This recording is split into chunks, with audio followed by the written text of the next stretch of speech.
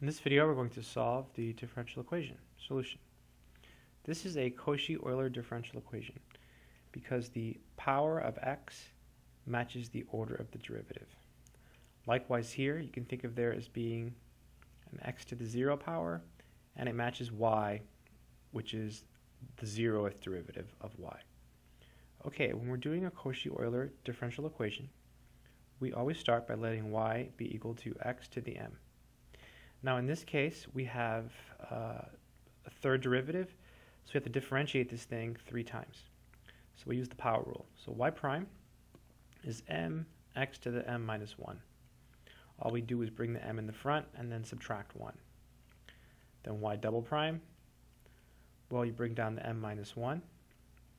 Then we have m, x, and then we subtract 1. So m minus 1 minus 1 is m minus 2. Then we do it again. so y triple prime will be m minus 2, m minus 1, m x to the m minus 3. Okay, hard to read, but m minus 2, m minus 1, m, and then x to the m minus 3. So now we're going to plug everything into the differential equation. So we have x cubed, and then y triple prime. So that'll be m minus 2, m minus 1, m x to the m minus 3 minus 6 and then y is x to the m. Whenever you're doing a Cauchy-Euler differential equation, when you get to this step, you want to combine the x's. So we have x cubed and x to the m minus 3. When you multiply those, you add the exponents. So m minus 3 plus 3 is m. So we have m minus 2 m minus 1 m x to the m minus 6 x to the m equals 0. At this point, we can factor out an x to the m. So we get x to the m. Then here we get, looks like, I'm going to write it like this, m, m minus 1, m minus 2. Just arranging the order, m, m minus 1, m minus 2, minus 6, bracket equals 0. We can divide by x to the m.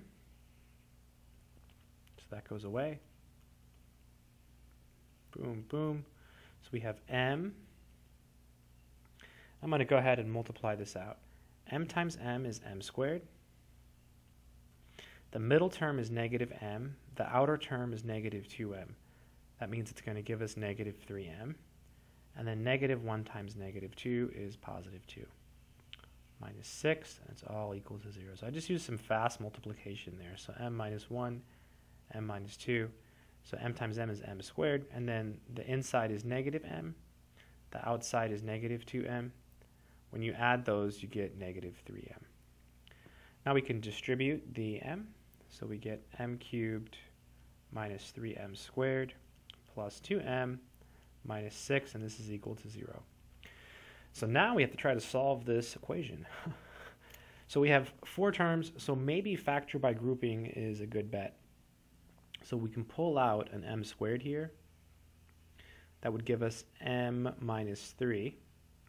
And looks like we can pull out a 2 here. That would also give us m minus 3 equals 0.